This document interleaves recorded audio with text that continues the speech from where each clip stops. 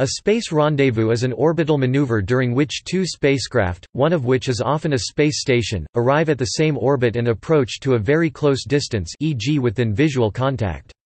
Rendezvous requires a precise match of the orbital velocities and position vectors of the two spacecraft, allowing them to remain at a constant distance through orbital station keeping. Rendezvous may or may not be followed by docking or berthing, procedures which bring the spacecraft into physical contact and create a link between them. The same rendezvous technique can be used for spacecraft landing on natural objects with a weak gravitational field, e.g. landing on one of the Martian moons would require the same matching of orbital velocities, followed by a descent that shares some similarities with docking.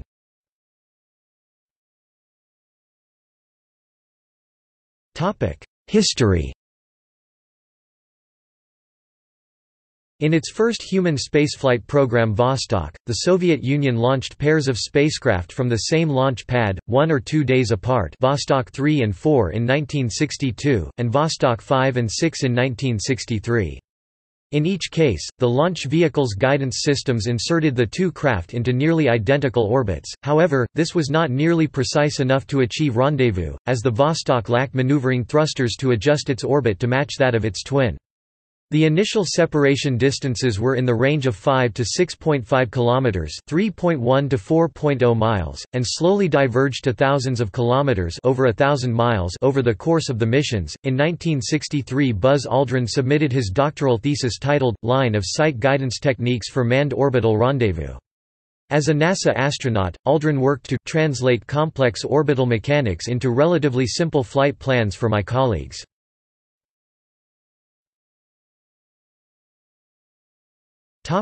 First attempt failed The first attempt at rendezvous was made on June 3, 1965, when U.S. astronaut Jim McDivitt tried to maneuver his Gemini 4 craft to meet its spent Titan II launch vehicle's upper stage. McDivitt was unable to get close enough to achieve station keeping, due to depth perception problems, and stage propellant venting which kept moving it around. However, the Gemini 4 attempts at rendezvous were unsuccessful largely because NASA engineers had yet to learn the orbital mechanics involved in the process. Simply pointing the active vehicle's nose at the target and thrusting was unsuccessful. If the target is ahead in the orbit and the tracking vehicle increases speed, its altitude also increases, actually moving it away from the target.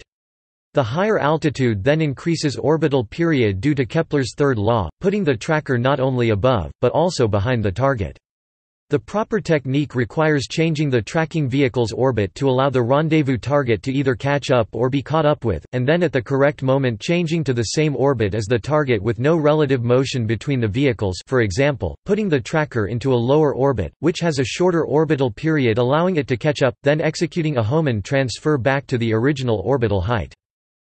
As GPO engineer André Meyer later remarked, "...there is a good explanation for what went wrong with Rendezvous." The crew, like everyone else at MSC, just didn't understand or reason out the orbital mechanics involved. As a result, we all got a whole lot smarter and really perfected rendezvous maneuvers, which Apollo now uses.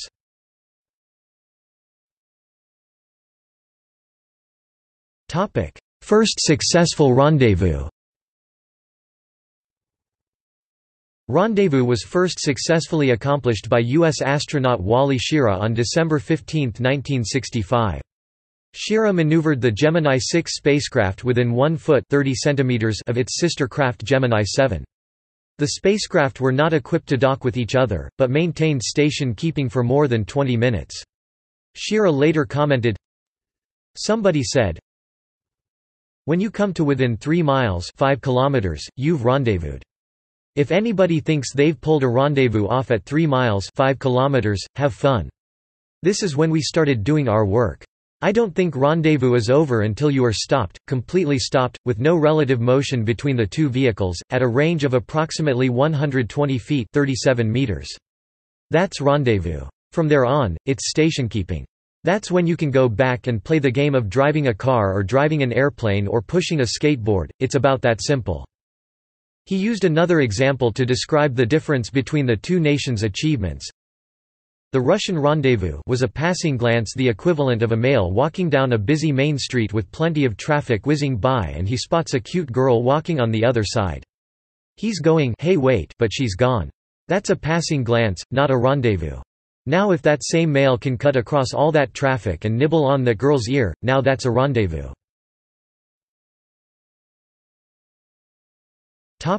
First docking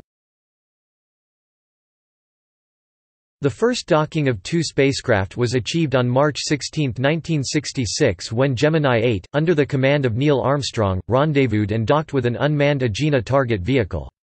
Gemini 6 was to have been the first docking mission, but had to be cancelled when that mission's Agena vehicle was destroyed during launch. The Soviets carried out the first automated, unmanned docking between Cosmos 186 and Cosmos 188 on October 30, 1967. The first Soviet cosmonaut to attempt a manual docking was Georgy Beregovoy, who unsuccessfully tried to dock his Soyuz 3 craft with the unmanned Soyuz 2 in October 1968.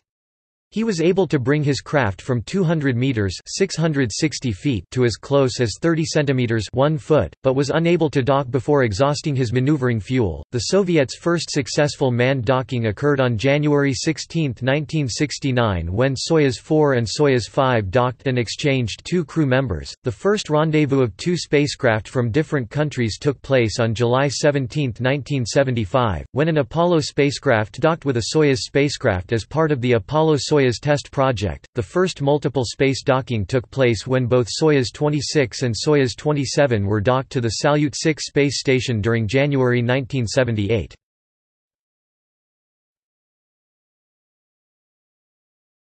Topic: Uses. A rendezvous takes place each time a spacecraft brings crew members or supplies to an orbiting space station. The first spacecraft to do this was Soyuz 11, which successfully docked with the Salyut 1 station on June 7, 1971. Human spaceflight missions have successfully made rendezvous with six Salyut stations, with Skylab, with Mir and with the International Space Station ISS. Currently Soyuz spacecraft are used at approximately six-month intervals to transport crew members to and from ISS. Robotic spacecraft are also used to rendezvous with and resupply space stations. Soyuz and Progress spacecraft have automatically docked with both Mir and the ISS using the Kurs docking system. Europe's automated transfer vehicle also uses this system to dock with the Russian segment of the ISS. Several unmanned spacecraft use NASA's berthing mechanism rather than a docking port. The Japanese H-2 Transfer Vehicle HTV, SpaceX Dragon, and Orbital Sciences Cygnus spacecraft all maneuver to a close rendezvous and maintain station keeping, allowing the ISS Canadarm2 to grapple and move the spacecraft to a berthing port on the U.S. segment. The Russian segment only uses docking ports so it is not possible for HTV, Dragon and Cygnus to find a berth there. Space Rendezvous has been used for a variety of other purposes, including recent service missions to the Hubble Space Telescope. Historically, for the missions of Project Apollo that landed astronauts on the Moon, the ascent stage of the Apollo lunar module would rendezvous and dock with the Apollo Command – Service module in lunar orbit rendezvous maneuvers. Also, the STS-49 crew rendezvoused with and attached a rocket motor to the Intelsat VF-3 communications satellite to allow it to make an orbital maneuver. Possible future rendezvous may be made by a yet-to-be-developed Automated Hubble Robotic Vehicle (HRV) and by the CXOLEV, which is being developed for rendezvous with a geosynchronous satellite that has run out of fuel. The CXOLEV would take over orbital stationkeeping and or finally bring the satellite to a graveyard orbit, after which the CXOLEV can possibly be reused for another satellite. Gradual transfer from the geostationary transfer orbit to the geosynchronous orbit will take a number of months, using Hall effect thrusters.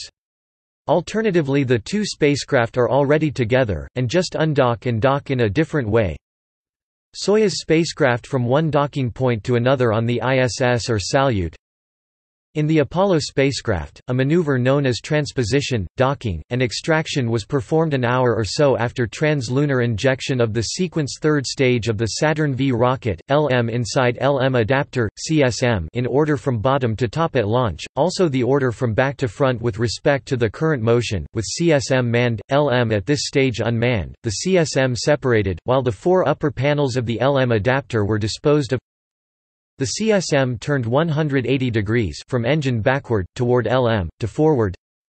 The CSM connected to the LM while that was still connected to the third stage. The CSM-LM combination then separated from the third stage.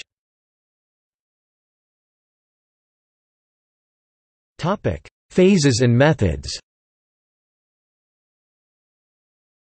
The standard technique for rendezvous and docking is to dock an active vehicle, the chaser, with a passive target.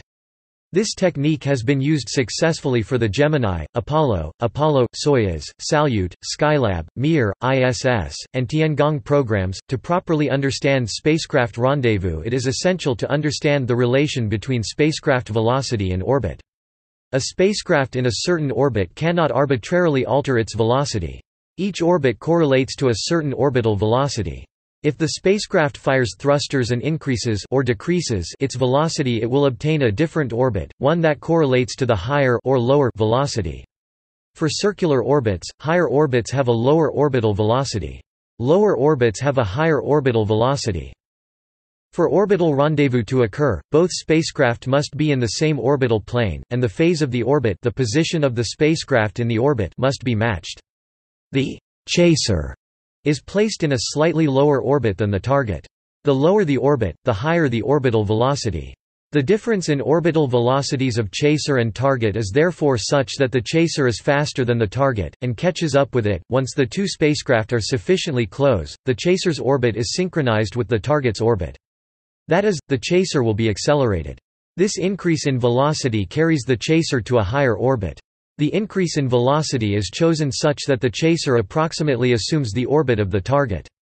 Stepwise, the chaser closes in on the target, until proximity operations see below can be started.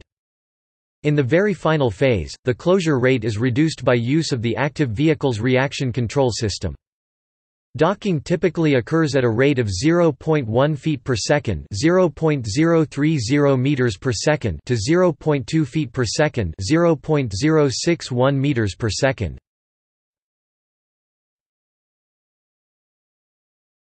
Topic: Rendezvous phases.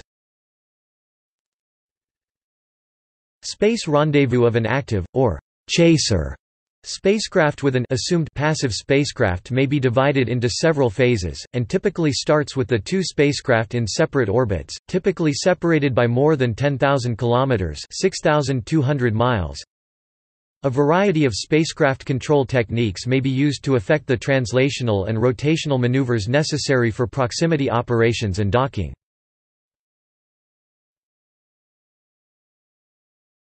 Topic: Methods of approach.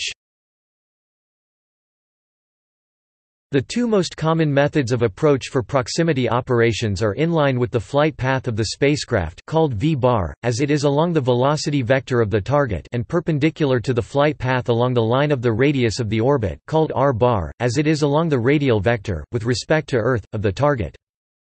The chosen method of approach depends on safety, spacecraft, thruster design, mission timeline, and, especially for docking with the ISS, on the location of the assigned docking port. V-bar approach The V-bar approach is an approach of the chaser horizontally along the passive spacecraft's velocity vector. That is, from behind or from ahead, and in the same direction as the orbital motion of the passive target. The motion is parallel to the target's orbital velocity. In the V-bar approach from behind, the chaser fires small thrusters to increase its velocity in the direction of the target. This, of course, also drives the chaser to a higher orbit. To keep the chaser on the v-vector, other thrusters are fired in the radial direction. If this is omitted for example due to a thruster failure, the chaser will be carried to a higher orbit, which is associated with an orbital velocity lower than the target's. Consequently, the target moves faster than the chaser and the distance between them increases. This is called a natural braking effect, and is a natural safeguard in case of a thruster failure. STS-104 was the third Space Shuttle mission to conduct a V-bar arrival at the International Space Station. The V-bar, or velocity vector, extends along a line directly ahead of the station. Shuttles approach the ISS along the V-bar when docking at the PMA-2 docking port. R-bar approach The R-bar approach consists of the chaser moving below or above the target spacecraft, along its radial vector. The motion is orthogonal to the orbital velocity of the passive spacecraft. When below the target the chaser fires radial thrusters to close in on the target. By this it increases its altitude. However, the orbital velocity of the chaser remains unchanged, thruster firings in the radial direction have no effect on the orbital velocity. Now in a slightly higher position, but with an orbital velocity that does not correspond to the local circular velocity, the chaser slightly falls behind the target. Small rocket pulses in the orbital velocity direction are necessary to keep the chaser along the radial vector of the target. If these rocket pulses are not executed for example due to a thruster failure, the chaser will move away from the target. This is a natural braking effect. For the R-bar approach, this effect is stronger than for the V-bar approach, making the R-bar approach the safer one of the two. Generally, the R-bar approach from below is preferable, as the chaser is in a lower faster orbit than the target, and thus, catches up with it. For the R-bar approach from above, the chaser is in a higher slower orbit than the target, and thus has to wait for the target to approach it. Astrotech proposed meeting ISS cargo needs with a vehicle which would approach the station, using a traditional nadir R-bar approach. The Nadir R-bar approach is also used for flights to the ISS of H-2 transfer vehicles, and of SpaceX Dragon vehicles. Z-bar approach An approach of the active, or chaser, spacecraft horizontally from the side and orthogonal to the orbital plane of the passive spacecraft—that is, from the side and out of plane of the orbit of the passive spacecraft—is called a Z-bar approach.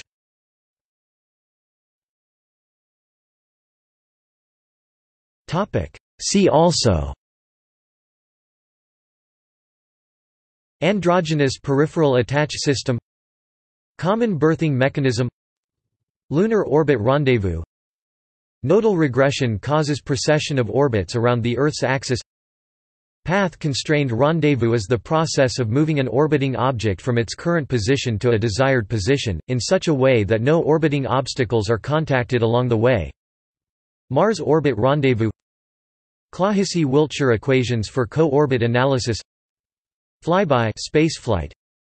Deliberate crash landings on extraterrestrial bodies